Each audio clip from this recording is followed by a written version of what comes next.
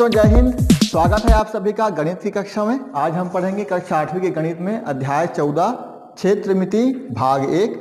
और इसमें हम देखेंगे प्रश्नावली चौदह दशमलव एक। लेकिन चौदह दशमलव एक देखने से पहले हम समांतर चतुर्भुज के बारे में थोड़ा सा समझ लेते हैं। आप देख रहे हैं इस आकृति को। ये कौन सी आकृति है? समांतर चतुर्भुज की। तो पहले हम समांतर चतुर्भुज के बारे में समझते हैं। उसके बाद फिर हम आगे बात करेंगे।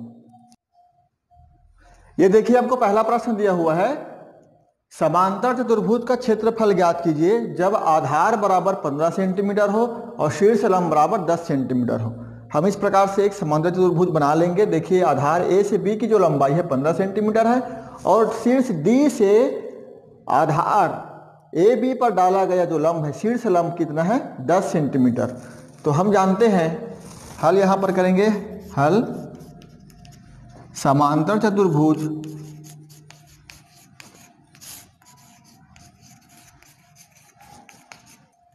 का क्षेत्रफल बराबर क्या होता है? आधार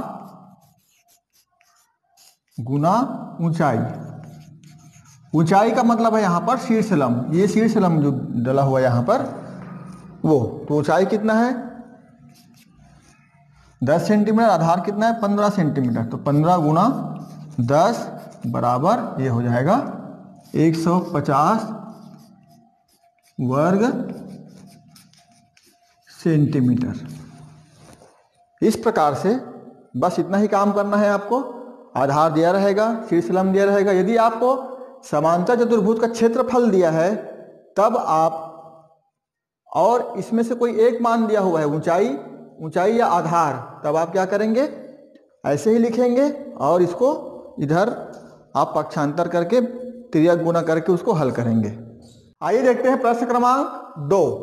ये प्रश्न क्रमांक दो है। इसमें लिखा हुआ है, उस समांतर चतुर्भुज का क्षेत्रफल ज्ञात कीजिए, जिसका आधार 26.5 सेंटीमीटर तथा शीर्ष 7 सेंटीमीटर दिया हुआ है। तो सबसे पहले हम लिख लेंगे, दिया है आधार बराबर 26.5 सेंटीमीटर शीर्षलम यानी कि ऊंचाई बराबर आपको दिया हुआ है सात सेंटीमीटर। तब क्या होगा? समांतर चतुर्भुज का क्षेत्रफल, समांतर चतुर्भुज का क्षेत्रफल बराबर आधार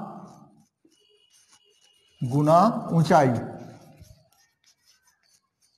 ये हम लिख लेंगे। आधार कितना दिया है आपको? 26.5 सेंटीमीटर।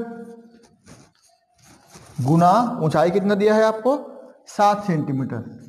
चलिए गुना कीजिए। चलिए आपस में गुना करते हैं। सात पंचे पैंतीस का पाँच, हासिल तीन। फिर सात का गुना करेंगे छः से। सात छः का बयालीस और तीन पैंतालीस का पाँच, हासिल चार।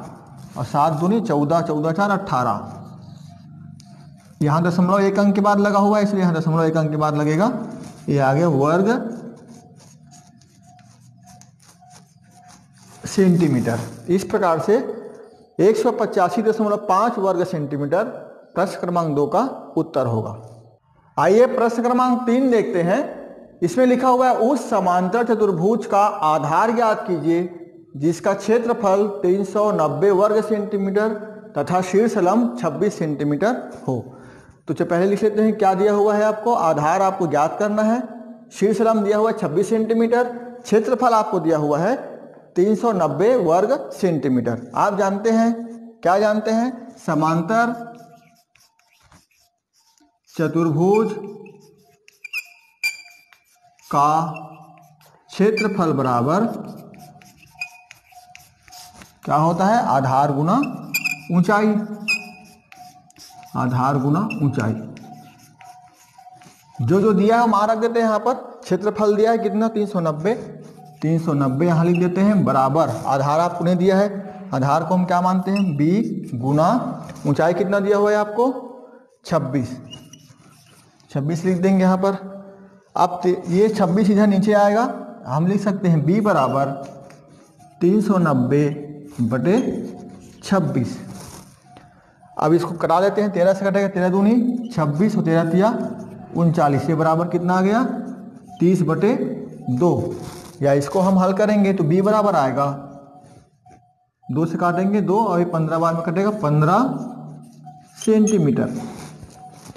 इस प्रकार से हम आगे लिखेंगे, अतः उस समांतर चतुर्भुज का आधार होगा पंद्रह सेंटीमीटर। तो इस प्रकार से आप इस प्रश्नावली के सभी सवालों को हल करेंगे। उम्मीद करता हूँ कि प्रश्नावली आपसे आसानी से बनेगा। मिलेंगे अगले प्रश्नवली में, तब तक के लिए आप सभी को जय हिंद।